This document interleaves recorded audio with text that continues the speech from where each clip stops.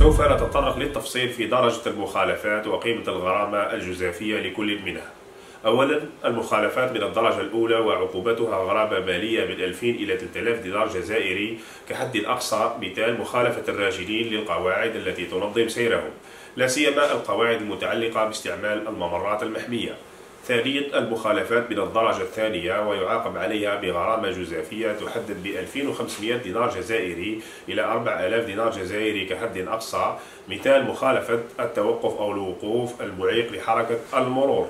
ثالثا المخالفات من الدرجة الثالثة ويعاقب عليها بغرامة جزافية تحدد ب 3000 دينار جزائري إلى 6000 دينار جزائري كحد أقصى مخالفة الأحكام المتعلقة بالارتداء الإجباري للخوذة بالنسبة لسائقي الدراجات المتحركة والدراجات النارية وراكبيها. رابعا المخالفات من الدرجة الرابعة ويعاقب عليها بغرامة جزافية تحدد ب 5000 دينار جزائري كحد أدنى 7000 دينار جزائري كحد أقصى. مثال مخالفة عدم التوقف التام أمام الإشارة قف. مخالفة اجتياز الخط المتواصل ومخالفة تشغيل الأجهزة السمعية البصرية في مقدمة المركبة أثناء السياقة.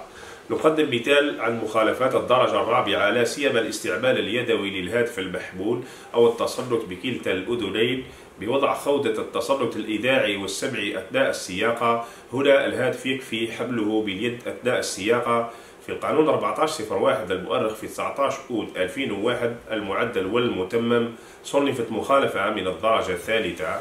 حيث كانت عقوبتها السحب الفوري لرخصة السياقة مع المساس بالقدرة على السياقة بعد أجل مدته 48 ساعة وغرامة مالية في حدها الأدنى مقدرة ب 2000 دينار جزائري. أما ابتداء من 1 فبراير 2022 ضمن القانون 1705 المؤرخ في 16 فبراير 2017 فقد صنفت مخالفة من الدرجة الرابعة عقوبتها غرامة مالية مقدرة في حدها الأدنى ب 5000 دينار جزائري ويتم الاحتفاظ برخصة السياقة مقابل تسليم وثيقة تثبت ذلك. وتمكن صاحبها من السياقة لمدة عشرة أيام ابتداء من تاريخ تحرير المخالفة.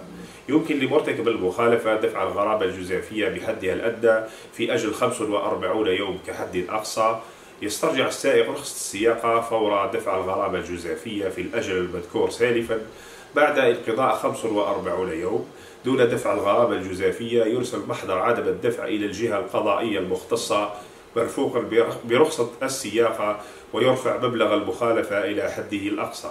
ملاحظة في حالة استمرار مرتكب المخالفة في السياقة بعد أجل مدته عشرة أيام دون استرجاع, استرجاع رخصة سياقته.